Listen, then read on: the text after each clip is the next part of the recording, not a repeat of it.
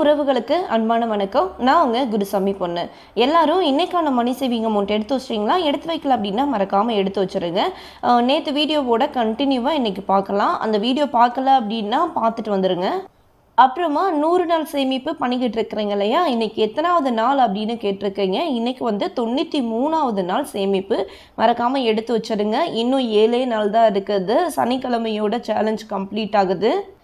Next Saturday நான் wait பண்ணிக்கிட்டு இருக்கிறேன். எத்தனை பேர் வந்து சேலஞ்சாக தொடர்ந்து பண்ணுனீங்க அப்படின்னு சொல்லிட்டு உங்களோட கமெண்ட்ஸை பார்க்குறதுக்காக நாங்கள் எல்லாருமே ரொம்ப வெயிட் பண்ணுறோம் எவ்வளோ அமௌண்ட் வந்து சேர்த்துருக்கீங்க அப்படின்னு சொல்லிட்டு. இப்போ என்னோட சீட் வந்து கம்ப்ளீட் ஆச்சுன்னு சொன்னேன் இல்லையா? அந்த சீட்டில் வந்து எவ்வளோ கிராம் கோல்டு இருந்துச்சு அப்படின்னா four point two three gram வந்து வாங்கிக்கலாம் அப்படின்னு சொல்லியிருந்தாங்க. நான் வந்து என்ன மாதிரி வாங்கியிருக்கேன் அப்படின்றத காட்டுறேன். நான் என்ன வாங்கணும்னு நினச்சி போனேன் அப்படின்னா பேங்கிள் வாங்கணும் அப்படின்னு நினச்சி போனது தான் ஆனால் பேங்கிள் வந்து வாங்க முடியலை. என்ன வாங்கியிருக்கிறேன் அப்படின்னா இந்த கம்மல் தான் நான் வந்து வாங்கியிருக்கிறேன். லக்ஷ்மி முகப்பூ வச்ச மாதிரி. எனக்கு பார்க்குறதுக்கு பிடிச்சிருந்துச்சு அதனால் வாங்கியிருக்கிறேன். எனக்கு வந்து ஜிமிக்கி மாதிரி போட்டால் செட் ஆகுமா அப்படின்றது தெரில அதனால் தோடு மாதிரியே இருக்கட்டும் அப்படின்னு சொல்லிட்டு வாங்கினேன். எவ்வளோ கிராம் இருந்துச்சு அப்படின்னா த்ரீ பாயிண்ட் த்ரீ கிராம் வந்து இருந்துச்சு. அப்போது எனக்கு வந்து பேலன்ஸ் எவ்வளோ இருக்குது? Nine zero point nine two gram வந்து இன்னும் இருக்குது. இதுக்கும் ஏதாச்சும் வந்து வாங்கிக்கோங்க அப்படின்னு சொன்னாங்க. நான் வந்து இப்போ தான் ஃபஸ்ட்டு ஃபஸ்ட்டு வந்து நோஸ் பின் வந்து போட்டிருக்கிறேன்.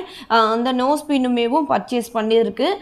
நோஸ் பின்னோட கிராம் எவ்வளோ அப்படின்னா ஜீரோ புள்ளி ஒன்று எட்டு ஏழு கிராம் வந்து இருந்துச்சு. கிட்டத்தட்ட ஜீரோ பாயிண்ட் ரெண்டுன்னு வச்சுக்கோங்களேன். பேலன்ஸ் பேலன்ஸ் எவ்வளோ கிராம் இருக்குது அப்படின்னா zero point G zero point seven seven gram வந்து இருக்கும். அதுக்கும் ஏதாச்சும் வாங்கிக்கோங்க அப்படின்னு சொன்னாங்க. நான் வந்து காயின் வந்து ஆல்ரெடி வாங்க போகிறேன் அதையும் சேர்த்து வந்து நான் வாங்கிக்கிறேன் அப்படின்னு சொல்லிட்டேன். அதை வந்து ஆட் பண்ணி ஏன்னா நம்ம உண்டியல் சேவிங்ஸ் அமௌண்ட் வச்சுருந்தேன் இல்லையா? அது காயின் வாங்கணும்னு பிளான் பண்ணி போனது தான் உங்ககிட்ட சொல்லிட்டு தானே போனேன் இல்லையா? ரெண்டு கிராமில் வாங்கணும் அப்படின்னு சொல்லிட்டு. ரெண்டு கிராமில் தான் வாங்கணும்னு சொல்லிட்டு போனேன். ஆனால் இதில் கொஞ்சம் கிராம் மிச்சம் இருந்ததுனால இன்னும் கொஞ்சமேவும் அமௌண்ட் எக்ஸ்ட்ராவாக போட்டு மூணு கிராமில் காயின் வந்து வாங்கிட்டேன்.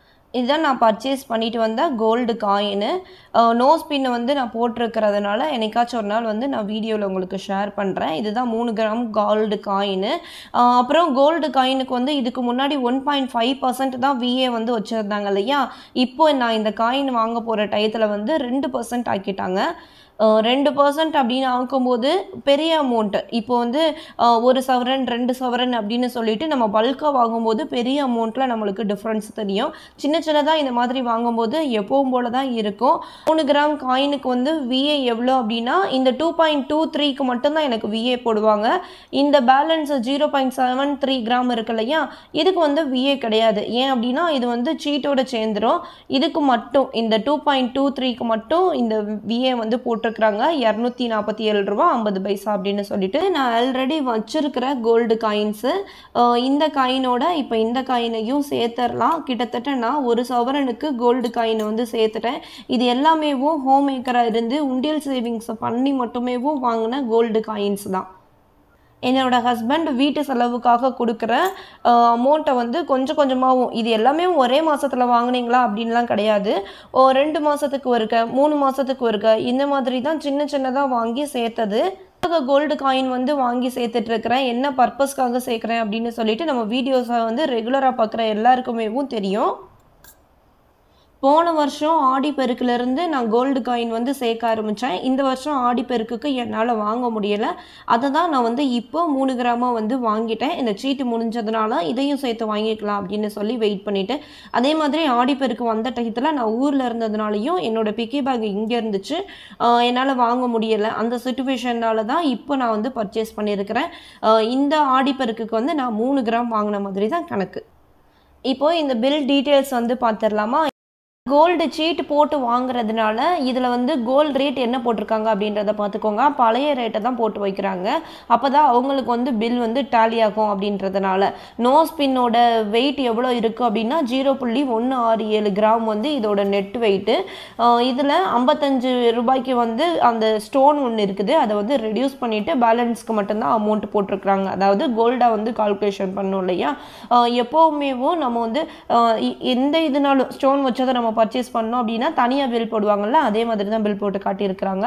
அதுக்கப்புறமா இயரிங் வந்து மூணு புள்ளி மூணு கிராமுக்கு இருந்துச்சு.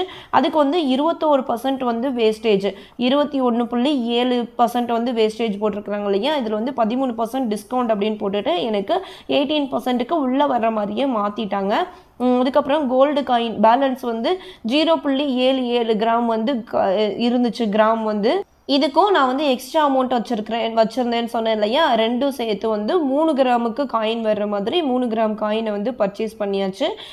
டோட்டலாக எவ்வளோ அமௌண்ட் வந்துச்சு அப்படின்னா பதிமூணாயிரத்தி ஐநூறுரூபா வந்து எக்ஸ்ட்ரா கொடுத்துட்டு இந்த காயினை வந்து நான் பர்ச்சேஸ் பண்ணியிருக்கிறேன். எல்லாத்துக்குமான ஜிஎஸ்டி வந்து நம்ம எக்ஸ்ட்ரா பே பண்ணி தானே ஆகணும். காயினுக்கான அமௌண்ட்டு ப்ளஸ் ஜிஎஸ்டி அமௌண்ட் ரெண்டும் சேர்த்து பதிமூணாயிரத்தி ஐநூறுரூபா பே பண்ணி எனக்கான ஜுவல்லரியை வந்து நான் பர்ச்சேஸ் பண்ணிவிட்டு வந்திருக்கிறேன். சீட்டு போடாமல் இந்த four point two three gram வாங்கியிருந்தேன் அப்படின்னா எவ்வளோ அமௌண்ட்டு டிஃப்ரென்ஸ் வரும் அப்படின்றத பார்த்துடலாம்.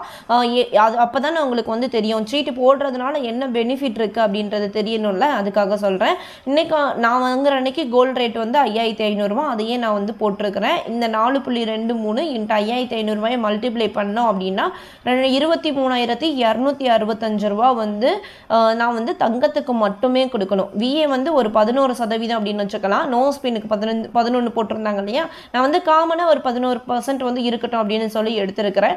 பதினோரு பர்சன்ட் அப்படின்னா ரெண்டாயிரத்தி ஐநூற்றி ஐம்பத்தி ஒம்பது ரூபா புள்ளி பதினஞ்சு பைசா வந்து விஏ மட்டும் இருக்கும். ஜிஎஸ்டி வந்து ஒரு மூணு பர்சன்ட் அப்போது எழுநூற்றி எழுபத்தி நாலு ரூபா புள்ளி எழுபத்தி ரெண்டு பைசா வந்து ஜிஎஸ்டிக்கு மட்டும் பே பண்ணணும். டோட்டலாக எவ்வளோ அமௌண்ட் அப்படின்னா இருபத்தி ஆறாயிரத்தி ஐநூற்றி தொண்ணூற்றி ஒம்பது ரூபா வந்து இந்த கோல்டுக்கு நான் பே பண்ண வேண்டியிருந்திருக்கும் இன்றைக்கி நிலைமைக்கு. நான் வந்து மாதம் மாதம் ரெண்டாயிரம் ரூபாய் கட்டினேன். பதினோரு மாதத்தோட முடிவில் வந்து இருபத்தி ரெண்டாயிரரூபா தான் நான் வந்து கட்டியிருந்தேன். ஆனால் அன்னைக்கு இருக்கிற கோல்டு ரேட் படி எனக்கு ஒவ்வொரு மாதமும் தங்கத்தை வந்து கொஞ்சம் கொஞ்சமாகவும் எடுத்து வச்சுக்கிட்டே வந்தாங்க இல்லையா? நான் வந்து காசு கொடுக்க கொடுக்க அவங்க வந்து எனக்கான அக்கௌண்ட்டில் என் தங்கத்தை வந்து எனக்கு வந்து என்ட்ரி போட்டு வைப்பாங்க. அப்படி போட்டு வச்சதுனால எனக்கு நாலாயிரத்தி அறநூறுவா வந்து கெயின் தான் கிடச்சிருக்கு. இது வந்து நம்ம இன்ட்ரெஸ்டாக கூட கால்குலேஷன் பண்ணிக்கலாம். அந்த இருபத்தி ரெண்டாயிரம் ரூபாயை நம்ம யார்கிட்டயாவது கொடுத்து நம்ம வட்டிக்கு கொடுத்தோம் அப்படின்னா சொல்கிறேன் நான். வட்டிக்கு கொடுத்தாக்கோ இதை விட அதிகமாக தான் வரும். ஆனால் அந்த அமௌண்ட்டுக்கு கேரண்டி உண்டான்னு சொல்லுங்கள் கிடையவே கிடையாது இல்லையா? ஆனால் நம்ம கோல்டாக நம்மளோட அக்கௌண்ட்டில் நம்ம பேர்லையே நம்ம என்ட்ரி போட்டுக்கிட்டே வந்தோம் அப்படின்னா இது நம்மளுக்கு ஒரு சேஃப் தானே? இதனால தான் நான் வந்து சொல்கிறது எப்போவுமேவும் கரெக்டான ஷாப் வந்து செலக்ட் பண்ணுங்கள் அதுவுமேவும் தங்கத்தில் வர வைக்கிற மாதிரி இருந்த ஆப்ஷனை நீங்கள் பாருங்கள் அப்படின்னா மட்டும்தான் நம்மளுக்கு அதில் வந்து பெனிஃபிட் இருக்குது அப்படின்னு உங்ககிட்ட சொல்லிக்கிட்டு இருக்கிறதுக்கு ரீசன் இப்போ உங்களை நிறைய பேருக்கு வந்து இந்த டவுட்ஸ் எல்லாமே யூஸ்ஃபுல்லாக இருக்கும் அப்படின்னு நான் நினைக்கிறேன். வேறு ஏதாச்சும் டவுட்ஸ் இருந்தாலுமேவும் கமெண்ட் பாக்ஸில் மென்ஷன் பண்ணுங்கள் நான் அடுத்தடுத்து வர்ற வீடியோஸில் வந்து உங்களுக்காக ஷேர் பண்ணுறேன் நான் எப்பவும் கேட்குற மாதிரி தான். வீடியோஸில் ஏதோ ஒன்று நீங்கள் கற்றுக்கிட்டீங்க அப்படின்னா குருசாமி பொண்ணுக்கு சப்ஸ்கிரைப் பண்ணுங்கள் ஆல்ரெடி நீங்கள் சப்ஸ்கிரைப் பண்ணியிருந்தீங்க அப்படின்னா லைக் பண்ணுறதுக்கு மறக்காதீங்க. நீங்கள் லைக் பண்ணுறது மூலமாக வேறு யாரோ ஒருத்தங்களுக்கு இந்த வீடியோ மூலமாக ஏதோ ஒரு டேர்னிங் பாயிண்ட் வந்து கிடை ஷேர் பண்ணுங்கள் கமெண்ட் பண்ணுங்கள் அடுத்த வீடியோவில் சந்திப்போம். பை